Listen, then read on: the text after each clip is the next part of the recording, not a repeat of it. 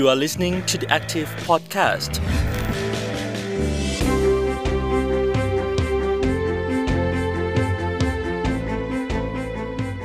สวัสดีค่ะ คุณผู้ฟังยินดีต้อนรับเข้าสู่ช่วงเวลาของ The Active Podcast ค่ะ ในซีรีส์ขัดแย้งไม่รุนแรงเรายังอยู่กับเส้นทางสันติภาพชายแดนใต้นะคะ วันนี้ดิฉันอรุชิตาอุตมะโพคิน และคุณรัฐวิทย์เอื้อประชานนท์จะชวนพูดคุยกันถึงเรื่องมิติความสัมพันธ์ทางศาสนากับสันติภาพชายแดนใต้ค่ะ สวัสดีค่ะ คุณรัฐวิทย์พี่โมสวัสดีครับสวัสดีท่านผู้ฟังทุกท่านนะครับ ก็สำหรับสัปดาห์นี้ เราจะมาพูดคุยกันในเรื่องความสัมพันธ์ทางศาสนาสัมพันธ์ของคนต่างศาสนาในพื้นที่ชายแดนใต้นะครับผม สำหรับวันนี้เรามีแขกรับเชิญคือใช่อาจารย์ค่ะสุภาพเมธยุนสิทธิ์นะครับจากค่ะสถาบันสิทธิมนุษยชนและสันติศึกษา ซึ่งทำงานเอ่อก็ติดในพื้นที่ในเรื่องอ่าศาสนาความสัมพันธ์ระหว่างศาสนา แล้วก็อาจารย์ตั้มอาจารย์สุภาพเมธเนี่ยก็เป็นเลขาธิการของอ่า IRC นะครับ Interreligious for Peace หรือสภาศาสนสัมพันธ์ใช่ไหมครับแห่งประเทศไทยด้วยค่ะสวัสดีค่ะอาจารย์ สวัสดีค่ะ สวัสดีท่านผู้ฟังทุกท่านด้วยนะคะ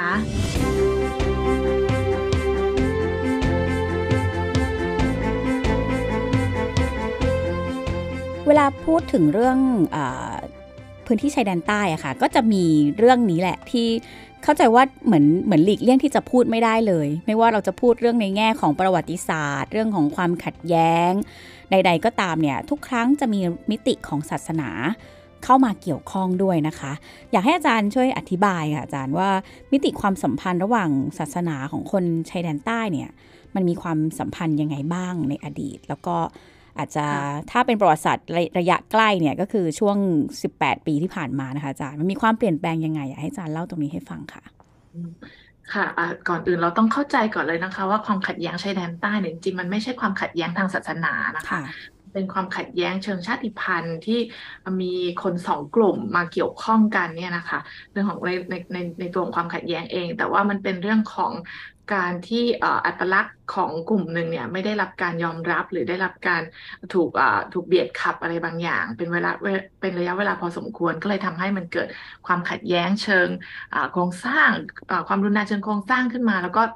ต่อเนื่องเป็นความความรุนแรงที่เห็นได้เป็นรูปธรรมนะคะความรุนความรุนแรงทางตรงนะคะ แต่ว่าเราปฏิเสธไม่ได้เช่นเดียวกันว่า เรื่องศาสนาเนี่ยมันประเด็นที่มีความสำคัญ เพราะว่าคนสองกลุ่มเนี่ยเขา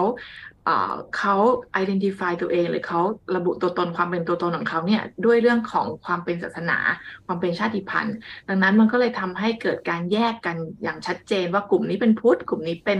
มาลายูมุสลิมเงี้ยนะคะ มันก็เลยทำให้เกิดอะมิติของเรื่องของความความไม่เหมือนกันความต่างกัน แล้วมันก็เลยทำให้ถูกนำมาใช้เป็นเครื่องมือในการที่จะทำให้คนเนี่ยไม่สามารถอยู่ด้วยกันได้เนาะในในในความไม่หวังดีของคนบางกลุ่มอะนะคะ แล้วก็ก่อนหน้าที่จะเกิดเรื่องของความควา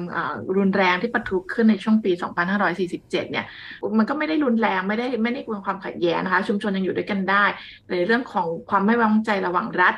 กับคนมาลายูมุสลิมเนี่ยในเชิง vertical นะในเชิงแนวดิ่งเนี่ยมันก็มีความมันก็มีมาให้เห็นต่อเนื่องมาตั้งแต่ปี 2500 ต้นๆมาค่ะเป็นต้นมานะคะ แล้วก็อืม คดีอ่าเรื่องของดูซงยอในช่วงปี 2520 ด้วยก็เกิดเกิดความขัดแย้งเป็นระลอกระลอกนะคะ แต่พอมันเกิดความขัดแย้งปี 2547 เป็นต้นมาเนี่ย เราพบว่าทั้งแนวดิ่งแนวราบเนี่ยมันมันล้มระเนระนาดเลย มันค่อยๆเกิดขึ้นนะนะคะ แต่แต่ในเรื่องแนวดิ่งเนี่ยมันมันชัดเจนอยู่แล้ว ค่ะ เมื่อมีความรุนแรงเกิดขึ้นมีการเผาโรงเรียนมีการปล้นปืนอะไรต่างๆ มันมันเกิดความขัดแย้งที่ชัดเจน ความรุนแรงที่ชัดเจน ระหว่างอะรัฐกับอะประชาชนนะคะ แต่ว่าในส่วนในในแนวในแนวราบเนี่ยมันค่อย ๆเกิดขึ้น มันก็เป็นผลพวงมาจากการที่คนรู้สึกไม่ปลอดภัยในชีวิตอืมทรัพย์สินแล้วเขาก็หวาดระแวงกันเองว่าเออเราไม่รู้ว่าคนที่อยู่ข้างบ้านเราเนี่ย เป็นแนวร่วมของ BRN หรือของกลุ่มผู้ก่อการหรือเปล่า มันก็เกิดความไม่ไว้วางใจนะคะค่ะเกิดขึ้นแล้วก็พอมันเกิดความขัดแย้งความรุนแรง แล้วมันมีผู้เสียชีวิตเนี่ย ซึ่งเราจะเห็นนะจากสถิติของสบตของศูนย์เยียวยา จะพบว่าคนพุทธเนี่ยมีจำนวนน้อยกว่าใช่ไหมคะในชายแดนใต้ค่ะแต่มีประมาณ17%เนาะแต่ว่าเขาสูญเสียมากเขา 66%ของผู้ที่เสียชีวิตหรือบาดเจ็บอืมจากเหตุความรุนแรงตั้งแต่ปี 2547 เป็นต้นมาเนี่ยหมื่นกว่าคนนะคะหมื่นสี่พันกว่าคนเนี่ย เป็นคน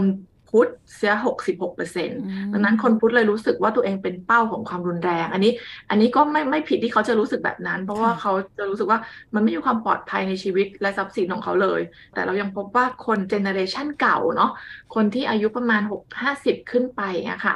ความสัมพันธ์ยังเหนียวแน่นกับกับคนที่เป็นคนต่างศาสนาชาติพันธุ์ความสัมพันธ์ยังโอเคมาก แต่ว่าคนที่รุ่นหลัง40ลงมาเนี่ยอาจจะมีความ ไม่ไว้เนื้อเชื่อใจเยอะขึ้นแล้วด้วยความที่ไม่ได้ปฏิสัมพันธ์กัน แล้วก็ไม่ได้มีพื้นที่ให้แลกเปลี่ยนอะไรขึ้นเกิดกันกันมากขึ้นมากมายนะทำให้มันเกิดความเข้าใจผิดกันได้ง่ายอะค่ะ อันนี้ก็เป็น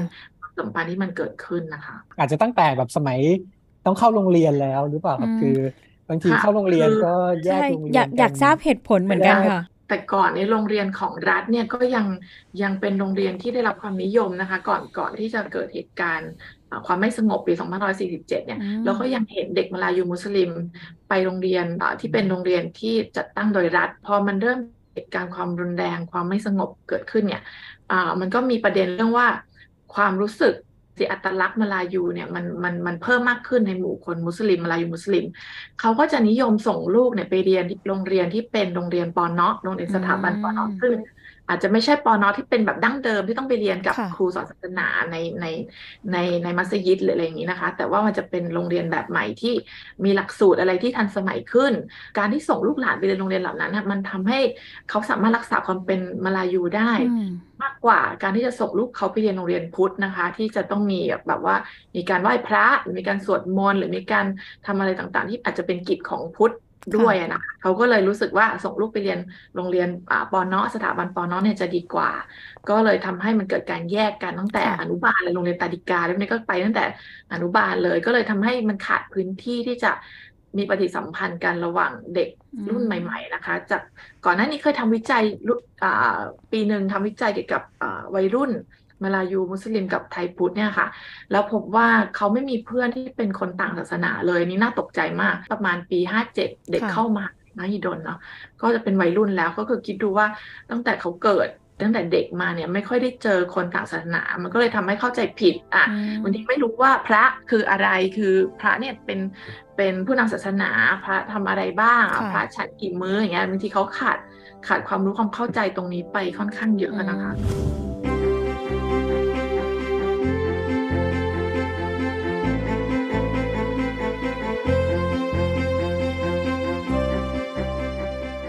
ถ้าใช้คำแบบนี้ความหมายยังยังคงใช่ไหมคะ ก็คือหลังปี 47เนี่ยมันทำให้เหมือนกับความรู้สึกไม่มั่นคงหรือว่าไม่มั่นใจในอัตลักษณ์ของตัวเองเนี่ยมันทำให้วิถีการการการดูแลเด็ก หรือว่าการนำเด็กเข้าสู่ระบบการศึกษาเนี่ยมันก็เลยเปลี่ยนไปจากก่อนหน้านี้แม้ว่า ก่อนหน้านี้จะยังเคยเกิดความรุนแรงขึ้นมาบ้าง แต่ว่ามิติเรื่องของความไม่มั่นใจไม่มั่นคงใน ตัวเองในอัตลักษณ์วิถีชีวิตในพื้นที่เนี่ยมันทำให้เกิดสิ่งนี้ขึ้นมาค่ะอาจารย์ใช่ค่ะก็คือเขาเขารู้สึกว่าที่ผ่านมาเนี่ยเหมือนเหมือนความเป็นตัวตนของเขาค่อยๆลดถดถอยลงไปเรื่อยๆนะคะ อันนี้พูดจากมุมมองของพี่น้องมาลายูมุสลิมเนาะแล้วก็เขารู้สึกว่าบางทีนโยบายของรัฐอะไรบางอย่าง มันทำให้กัดกร่อนในตัวอัตลักษณ์ของเขาเนี่ยไปเรื่อยๆดังนั้นมันก็คือมีความจำเป็นที่จะต้องลุกขึ้นมา สร้างความเข้มแข็ง ความแข็งแกร่งให้กับอัตลักษณ์ของเขาไม่ว่าจะเป็นภาษาไม่ว่าจะเป็นเรื่องของอความเป็นมาเกี่ยวกับเผ่าพันธุ์ของเขานะคะ หรือว่าเรื่องของประเพณีวัฒนธรรมต่าง ๆ เราจะเห็นได้มีการรื้อฟื้นอะไรต่างๆ ขึ้นมามากมาย เพื่อให้เด็กรุ่นใหม่ หรือว่าคนรุ่นปัจจุบันเนี่ยได้ซึมซับหรือสร้างความเป็นอัตลักษณ์ได้ดียิ่งขึ้น อันนี้จะมีเป็นเป็นวิธีการที่เขาพยายามสร้างขึ้นมา แต่มันก็เลยมากระทบ ความสัมพันธ์นะคะ เพราะว่าถ้าเราต้องการสร้างของเข้มแข็งในหมู่เราเองเนี่ย ถ้าในเรื่องของทฤษฎีอัตลักษณ์เนาะคุณจะต้องพยายามหาฝ่ายตรงข้ามที่มันต่าง แล้วเราจะต้องบอกได้ว่าเราต่างจากเขายังไง มันเป็นธรรมชาติเนาะก็เลยทำให้เออฉันต่างจากเธอ แทนที่จะไปเน้นอัตลักษณ์ที่มันมีร่วมกันนะคะ เช่นความเป็นคนสามจังหวัดเนาะมีประเพณีวัฒนธรรมอะไรที่มี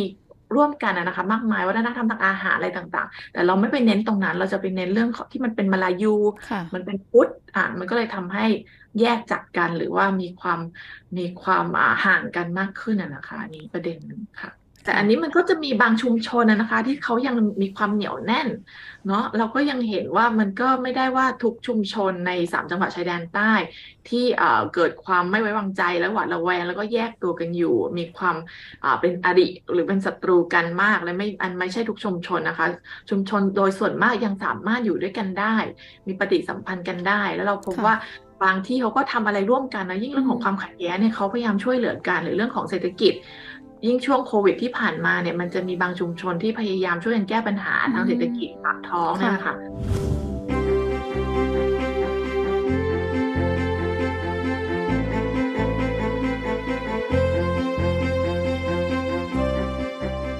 ชุมชนของคุณพุทธเหมือนอย่างคนรู้จักหรือว่าเพื่อนๆ ของแนนเองเนี่ยก็มีหลายคนเหมือนกันที่ครอบครัวเนี่ยอพยพยกย้ายมาจากพื้นที่ 3 จังหวัด จากยะลาจากปัตตานีอาจจะเข้ามาอยู่แบบหัดใหญ่ก็ได้ หรือว่าบางคนก็มาอยู่ในกรุงเทพเลยอาจารย์คะสิ่งที่มันเกิดขึ้น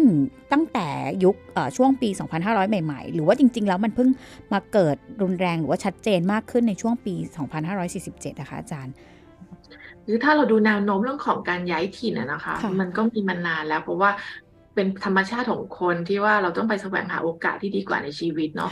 แต่ของชายแดนใต้เนี่ยเราพบว่าตั้งแต่เกิดเหตุการณ์ความรุนแรงเป็นต้นมาเนี่ยมันมีการย้ายออกค่อนข้างค่อนข้างต่อเนื่องนะคะ นี่มีมีคนเคยทำวิจัยไปหลายหลายชิ้นแล้วเหมือนกันว่ามันมีการย้ายออก ทั้งคนมาลายูแล้วก็คนไทยพุทธแต่ว่าถ้าจากในจากตัวเองที่เคยทำงานวิจัยกับเยาวชนมาเนี่ย เราพบว่าเยาวชนพุทธหรือว่าคนพุทธเนี่ยจะย้ายออกค่อนข้างเยอะมากนี่ คนข้างบ้านนี่ก็มาจากยะลานะคะข้างบ้านเนี่ยก็พี่ก็มาจากยะลาเหมือนกันเคยเป็นคุณครูที่นั่นแล้วก็ย้ายมาทำงานที่อื่น เราก็จะพบว่ามันมีคนที่ย้ายออกอย่างเงี้ยค่อนข้างเยอะคือคนพุทธเนี่ยค่ะเขาสามารถย้ายออกไปอยู่ที่ไหนก็ได้ในในในประเทศไทย เพราะว่ามันมีวัดมันมีชุมชนมันใช้ภาษาเดียวกับเขาใช่ไหมคะเขาก็จะไม่ลังเลที่จะย้ายออก แต่ว่าคนมาลายูมุสลิมเนี่ยค่ะ ถ้าถามดูนะเคยสัมภาษณ์เด็กมาลายูมุสลิมประมาณ17-18คนตอนนั้นทำวิจัยเนี่ยเขาก็จะบอกว่าเขายังไงเขาเรียนจบเพราะจะต้องกลับไปพื้นที่บ้านเกิดเขา เพราะตรงนั้นมันเป็นมันเป็นความเป็นอัตลักษณ์มันเป็นตัวตนชุมชน ครอบครัวทุกอย่างอยู่ตรงนั้นหมดนะคะยังไงเขาจะต้องกลับไป เราพบว่าปี62มันมีมันมีคนพยายามทำเรื่องของสถิติการย้ายออก แต่เขาไม่ได้แบ่งชัดเจนว่าชาติพันธุ์ไหนย้ายออกไปมากเท่าไหร่ มันไม่มีตัวเลขตรงนั้น แต่เราเห็นว่า มันมีการย้ายออกจริงในยะลาปัตตานีนราธิวาสโดยที่ปัตตานีกับนราธิวาสเนี่ย จะเป็นคนที่ย้ายจากเขต นอกเขตเทศบาลออกไปนะคะออกไปที่อื่นเนาะอาจจะย้ายเข้ามาในเมืองหรือว่าย้ายออกไปต่างจังหวัดเลยก็มีเหมือนกัน แต่ของยะลาเนี่ยจะคนที่ย้ายออกจะเป็นคนที่อยู่ในเขตเทศบาลแล้วย้ายออก ตั้งแต่อายุ 15 เป็นเป็นต้นไปถึงประมาณ 39 40 แต่ที่เราไปทำวิจัยมาก็คือประมาณ 20 ชุมชนที่เราลงไปเนี่ย ก็พบว่า เขาย้ายออกกันจริงอะค่ะ ก็คือบางคนย้าย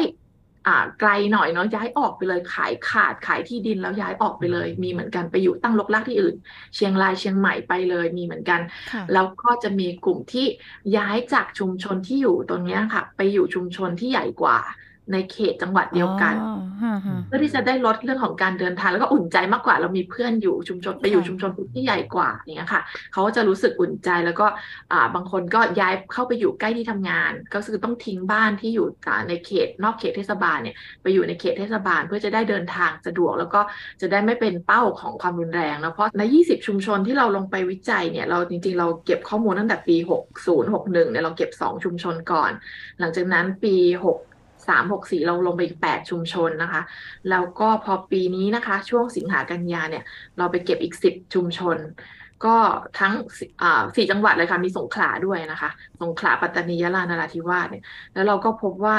เออ มันมีการย้ายออกจริงคือตัวตัวครัวเรือนตัวบ้านเนี่ยยังอยู่ แต่ว่าคนเนี่ยน้อยลงอาจจะมีการเสียชีวิตด้วยนะคะ หรือว่า มีการย้ายออกไปทำงานที่อื่นเนี่ยก็ก็มีอยู่ ส่วนมากจะเป็นจะเหลือประมาณเป็นคนสูงอายุนะคะ ที่ยังอยู่ในชุมชนบางชุมชนที่น่าเป็นห่วงเนี่ย บางบ้านเนี่ยเหลือคนสูงอายุอยู่แค่ มีทั้งชุมชนเหลืออยู่สามหลัง ในสามหลังมีเหลืออยู่แค่หลังละคน แล้วก็เป็นสวเป็นสูงวัยทั้งหมดอันนี้อันนี้ก็ก็เป็นสิ่งที่เกิดขึ้นที่โต๊ะเด้งเป็นต้นนะคะ ที่เราลงไปมา ก็เกิดขึ้นจริง แล้วเราพบว่าสาเหตุปัจจัยหลักของการย้ายออกจริง ๆ มันไม่ได้เพิ่งเริ่มปีนี้สองปีนี้เนาะ มันจะถ้าเราดูสถิติของความรุนแรงในชายแดนใต้ ช่วงพีคๆมันจะเป็นปี 48 ถึงปี 53 ช่วงที่พีคกันนะคะ ที่มันมีการทำร้ายกันเยอะๆ ทั้งประชากรที่เป็นประชาชนที่เป็นพลเรือน ไม่ได้ไม่ได้เป็นเป้าหมายที่มีอาวุธนะคะ แล้วก็พระสงฆ์อะไรพวกนี้เนาะช่วงประมาณปีห้าปีสี่แปดถึงปีห้าศูนย์เนี่ยจะค่อนข้างเยอะ มันก็เริ่มตั้งแต่ช่วงนั้นนะคะที่คนย้ายออกโดยเฉพาะคนพุทธเนี่ยเขาก็จะขายที่ดินให้คนมาลายูที่อยู่เป็นบ้านนี่เลย แล้วก็ไปตั้งลกลากที่อื่น แล้วพอเขาไปแล้วอะเขาก็จะไม่กลับมาแล้วไม่ได้คิดจะกลับมาค่ะอย่างที่กาโสดเนาะที่ยะลาที่เราไปมาก็แทบจะไม่เหลือเลยประมาณห้าหลังอยู่ริมถนนตรงนั้นเองเราก็ไกลไปนิดนึงก็มีอีกหน่อยนึงเป็นหย่อมเป็นหย่อมนะคะ ก็จะอยู่กันแบบนั้น คือความรุนแรงมันเป็นสาเหตุสาเหตุที่ทำให้ชุมชนจำนวนมากเนี่ย 20ชุมชนเนี่ยประมาณเกินครึ่งนะคะ ที่เป็นเพราะความรุนแรงที่เขาต้องย้ายออกไป แล้วพอมันเกิดความรุนแรงปุ๊บเนี่ยเศรษฐกิจมันซบเซาใช่ไหมคะ เรื่องของการไปกรีดยางทำไม่ได้ ไปเก็บผลไม้ในสวนทำไม่ได้ หรือการค้าอะไรที่มันต้องอใช้อาศัยคนเข้ามารับซื้อของในสวนหรือต้องไปกรีดยางอะไรพวกนี้มันทำไม่ได้เลย คนก็เลยต้องย้ายไปหาอาชีพอื่นนะคะ ไปรับจ้างทำอย่างอื่น อย่างวัดก็เช่นเดียวกัน พอคนย้ายออกไปเยอะ พระสงฆ์ก็ลดจำนวนลงด้วยใช่ไหมคะ คนอยู่น้อยลง อ่าบางทีพระสงฆ์เป็นเป้าถูกยิงถูกลอบทำร้ายนะคะ ตั้งแต่ปี 4 4 7 เป็นต้นมาเราเสียพระสงฆ์ไปประมาณ 21 รูปในชายแดนใต้ แล้วก็มีอีกประมาณ 27 รูปที่ที่บาดเจ็บนะคะ อันนี้ก็เป็นพระสงฆ์ที่ทำงานในเครือข่ายเราก็ก็มีเหมือนกันนะคะ ที่เสียชีวิตไป พอพระสงฆ์ไม่มีพื้นพึ่งทางใจมันหายไปมันเกิดวัดร้างด้วยนะคะ ประมาณ 16 วัดในชายแดนใต้เนาะตอนนี้ที่เราสำรวจมาแล้วก็ทางหน่วยงานราชการพยายามไปช่วยอยู่ฟื้นฟูชุมฟื้นฟูวัดร้างเนี่ย แต่ตามแล้วก็ตามที่เราไม่ได้ประชากรพุทธกลับมาอยู่อะค่ะ มันก็จะมันก็จะเป็นปัจจัยที่ทำให้ชุมชนพุทธมันไม่สามารถเข้มแข็งได้ เพราะไม่มีพระใช่ไหมคะไม่มีคนที่จะ support วัด อันนี้มันก็เลยเป็นอะไรที่มันต่อเนื่องเกี่ยวพันกันไปหมดเลยค่ะ ต้องการการแก้ปัญหาที่มันเป็นรูปธรรมมากๆเลย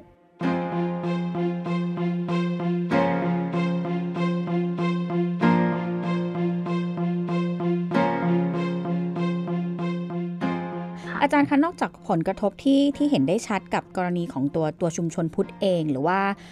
วิถีของชาวพุทธในพื้นที่สามจังหวัดเองที่อาจารย์อธิบายเมื่อสักครู่ค่ะ แล้วมันมีผลต่อความสัมพันธ์ระหว่างพุทธและมุสลิมในพื้นที่ด้วยไหมคะ กับปัจจัยของการย้ายออกคนพุทธมาก ๆ แบบนี้ค่ะอาจารย์อืมคือเราพบจากจากที่เราลงเก็บข้อมูลนะคะ เราพบว่าชุมชนที่คนพุทธยังอยู่ได้เหนียวแน่นเนี่ยจะจะส่วนมากจะเป็นชุมชนที่ ถึงแม้จะเป็นชุมชนไข่แดง หมายความว่าไข่แดงหมายความว่าล้อมรอบโดยมาลายูมุสลิมเนาะบางทีมีแค่หกเจ็ดหลังแต่ล้อมด้วยมุสลิมประมาณแบบอ่า ห้าสิบหลังอะไรเงี้ยเนาะแต่ที่เขายังอยู่ด้วยกันได้เนี่ยก็เพราะว่าความสัมพันธ์ระหว่างเขากับผู้นำชุมชนที่เป็นมาลายูเนี่ยค่ะมีความสัมพันธ์ที่ค่อนข้างแน่นแฟน คือเข้าใจการสื่อสารกันได้เนี่ยก็จะทำให้คนพุทธกลุ่มเนี้ยตัดสินใจที่จะยังอยู่คือจะไม่ไปไหน แต่เมื่อไหร่ก็ตามที่ความสัมพันธ์ระหว่างคนมาลายูมุสลิมโดยรอบเนี่ยมันไม่ค่อยดีและเกิดความไม่ไว้เนื้อเชื่อใจกันมากๆเนี่ยเนาะมันก็เลยทำให้คนพุทธตัดสินใจที่จะออกไปเลย ออกย้ายออกไปนะคะ อันนี้ดังนั้นความความสัมพันธ์ระหว่าง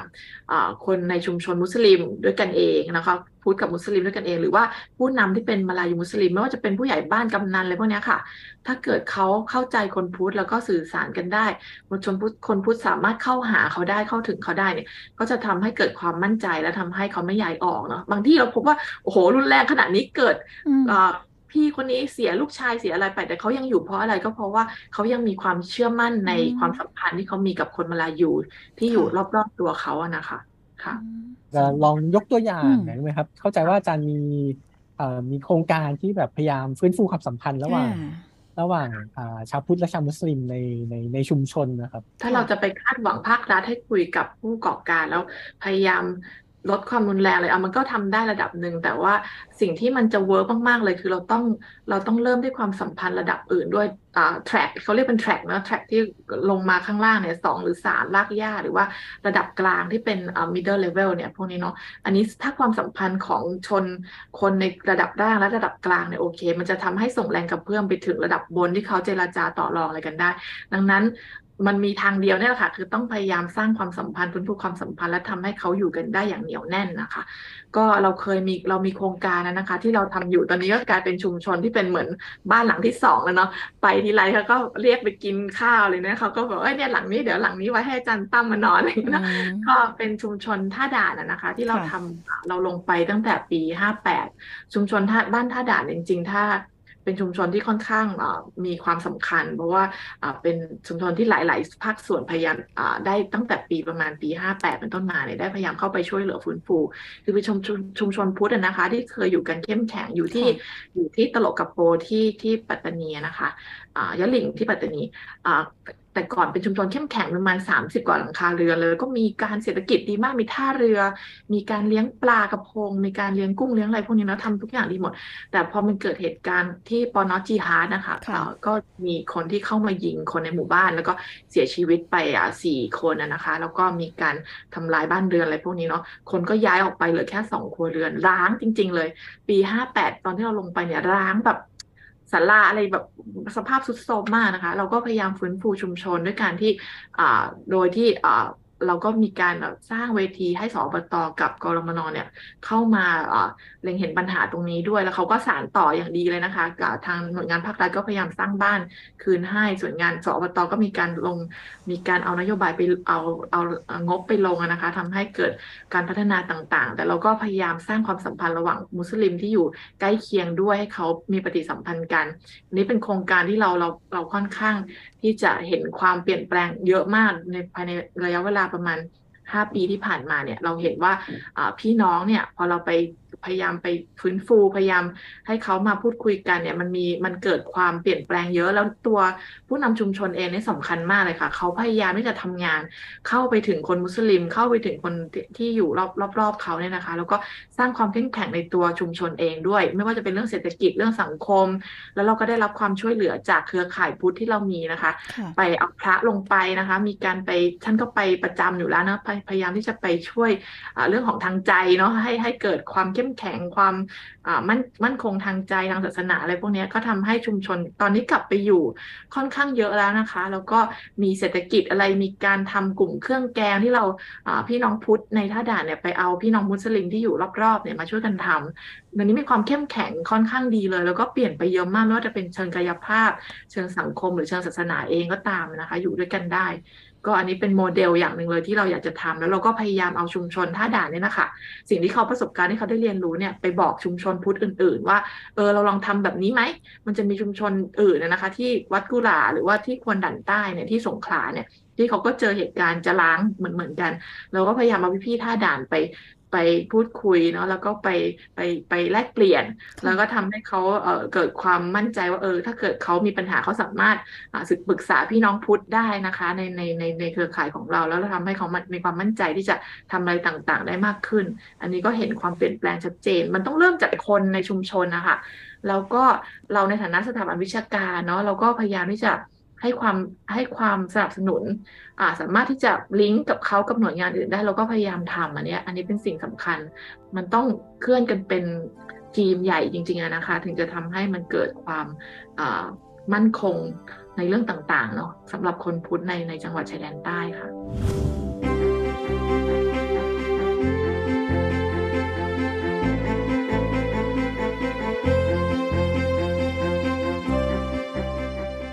ทีนี้ถ้าหากว่าเราจะทำให้ลักษณะของการฟื้นฟูความสัมพันธ์ระหว่างคนต่างศาสนาในพื้นที่จังหวัดชายแดนใต้เหล่านี้ค่ะ มันขยายผลอนอกจากชุมชนที่อาจารย์ได้เข้าไปคลุกคลีแล้วก็ทำงานด้วยต่อเนื่องเนี่ยค่ะอาจารย์คิดว่าปัจจัยอะไรอื่น ๆ อีกอย่างเช่นในมุมของภาครัฐเอง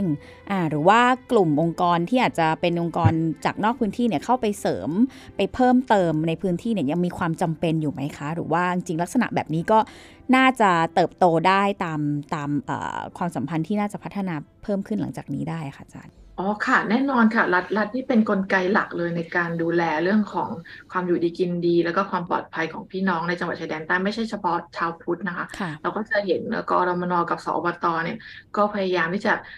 มีโครงการอะไรต่างๆ เข้าไปฟื้นฟูอะไรมากมายเลยแล้วก็ทางคนพุทธเองเนี่ยค่ะเขามีเครือข่ายของเขาสมาพุทธสมาพันธ์ไทยพุทธจังหวัดชายแดนภาคใต้นะคะซึ่งเป็นเครือข่ายหลักเลยที่ทำงานประสานกับ หน่วยงานภาครัฐ แล้วก็ภาคประชาสังคมต่างๆ แล้วเราก็จะมีหน่วยงานที่เป็นวิชาการอันนี้มาช่วยเหลือ แล้วก็ล่าสุดเนี่ยค่ะสอบตเขาก็เขาก็ไม่นิ่งนอนใจเนาะเรื่องประเด็นพวกนี้เขาก็พยายามบรรจุเรื่องของการส่งเสริมวิถีไทยวิถีพุทธอะไรพวกนี้นะคะของการฟื้นฟูชุมชนฟื้นฟูชุมชนพุทธร้างพุทธถดถอยอะไรพวกนี้บรรจุเป็นแผนนโยบายเลยปี 65 ถึงปี 70 เลยเขาก็จะมีขั้นตอนต่างๆ ว่าจะทำอะไร แล้วสิ่งที่เราไปเก็บข้อมูลที่เราฟังจากเสียงคนพุทธมาเขาพูดว่า บางทีการออกแบบการฟื้นฟูชุมชนพวกนี้ค่ะ มันไม่สามารถออกแบบแบบ one size fit all ได้ คือมันไม่สามารถที่จะถ้าชุมชนนี้ปลูกผักหรือเลี้ยงปลาแล้วก็เอาไปใช้กับชุมชนอื่นบางทีมันไม่ได้ค่ะ มันต้องดูว่าแต่ละพื้นที่เนี่ยแล้วก็คนในพื้นที่เขามีความต้องการอะไรเนาะไม่ใช่ว่าเราให้ปลูกถั่วฝักยาวแล้วปลูกถั่วฝักยาวทุกชุมชนมันเป็นไปไม่ได้ เราก็ต้องดูแล้วก็ การที่จะเอาคนพุทธที่เป็นวัยรุ่นหรือวัยทำงานกลับมาในพื้นที่นะคะ มันยากเนอะเพราะว่ามันไม่ใช่งานทุกอย่างงานเชิงเกษตรเนี่ยมันไม่ใช่งานที่เขาอยากจะทำค่ะ มันจะเราจะต้องหางานที่มันเป็นมันมี value added จากงานที่เป็นเกษตร เอามาแปรรูปทำอะไรไหมหรือว่าเป็นโฮมสเตย์หรือทำอะไรที่เป็นในลักษณะท่องเที่ยวท่องเที่ยวเชิงอนุรักษ์ อันนั้นจะดึงดูดคน ที่เป็นวัยทำงานหรือเป็นวัยรุ่นเนี่ย ให้เขาอยากกลับมาอยู่ในพื้นที่เหมือนเดิมนะคะ อันนี้มันต้องมันต้องคิดหลายสเต็ปแล้วก็เราก็ต้องอาศัยหอการค้าจังหวัด หรือว่าอะไรที่เกี่ยวเรื่องเศรษฐกิจอะเข้ามาช่วยกันวางแผนให้มากขึ้นด้วยค่ะ อันนี้คือความปลอดภัยในชีวิต แล้วก็ความสามารถในการประกอบอาชีพ อันนี้เป็นเป็นเป็นสองประเด็นหลักที่เขาอยากจะเห็นเนาะแล้วพอมันมีสองอันนี้ค่ะ ประชากรมันก็จะย้ายกลับเข้ามา แล้วมันก็ทำให้เกิดความมั่นคงด้านอื่น ๆ ตามมา แต่อันนี้จะสร้างไอ้สองสิ่งนั้นนะความปลอดภัยในชีวิตกับความสามารถในการประกอบอาชีพเนี่ยโอกาสต่างๆ มันก็ยากนะคะ มันก็ต้องอาศัยคนหลาย ๆ กลุ่มช่วยๆกันด้วยค่ะค่ะ ไม่เช่นนั้นมันก็จะเหมือนอชุมชนชนบทอื่น ๆ ที่ถ้าหากว่าไม่ได้มีพื้นที่ในการสร้างโอกาสให้เขาได้ได้ประกอบอาชีพได้ตรงตามกับยุคกับวัยเนี่ย มันก็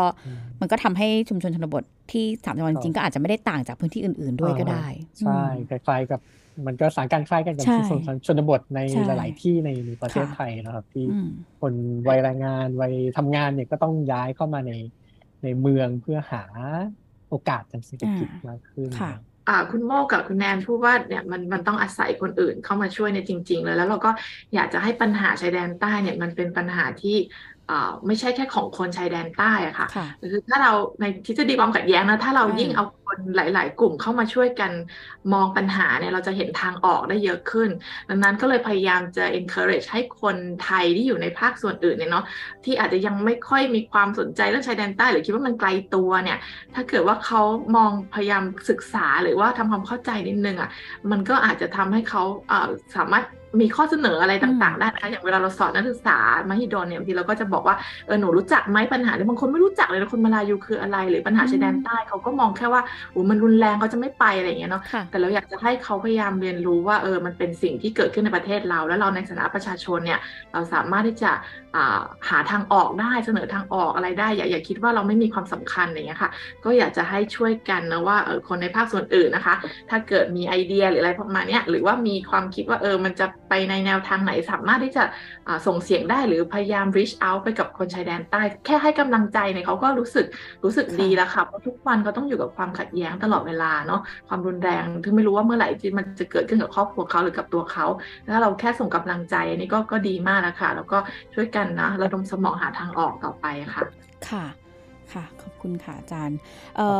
สิ่งที่อาจารย์เล่าให้ฟังเนี่ยเข้าใจว่ามันทำให้เห็นภาพชัดขึ้นนะคะพี่โมว่าเวลาเราพูดเรื่องความขัดแย้งในพื้นที่จังหวัดชายแดนใต้เนี่ยมันไม่ได้หมายถึงแค่ความขัดแย้งระหว่างรัฐกับกลุ่มขบวนการหรือว่าความขัดแย้งในเชิงที่เป็นมิติของความรุนแรงมิติเดียว แต่ว่าความพยายามที่จะแก้ไขปัญหา หรือว่าสร้างสันติภาพให้เกิดขึ้นในพื้นที่ชายแดนจริง ๆ ได้ขึ้นได้เนี่ยมันต้องอาศัยแบบนอกนอกจากคนที่เป็นระดับแบบ ชุมชนหรือชาวบ้านในพื้นที่เองเนี่ยก็ยังหมายถึงคนในพื้นที่อื่นๆอ่าในในประเทศไทยด้วยที่จะมีส่วนอย่างมากเลยที่จะทำให้สถานการณ์มันมันดีขึ้น แล้วก็นำไปสู่สันติภาพได้อย่างแท้จริงนะคะพี่โมใช่ครับคือปัญหาชายแดนใต้ก็ก็เป็นอยากจะให้มองนะคล้ายๆอาจารย์ตั้มเป็นปัญหาที่เราทุกคนในในทั้งประเทศที่จะควรจะต้องให้ความสนใจให้ความรับรู้แล้วก็ช่วยกันหาทางออกร่วมกันนะครับ ค่ะ ค่ะ วันนี้ก็ขอขอบคุณอาจารย์ตั้มนะคะ อาจารย์สุภาพเมธยุญยสิทธิ์มาก ๆ เลยค่ะ ขอบคุณค่ะ ขอบคุณคขอรับบคุณคุณแนนคุณโม่มากค่ะ ขอบคุณค่ะ สวัสดีสวัสดีสวัค่ะสดีครับ You are listening to the Active Podcast.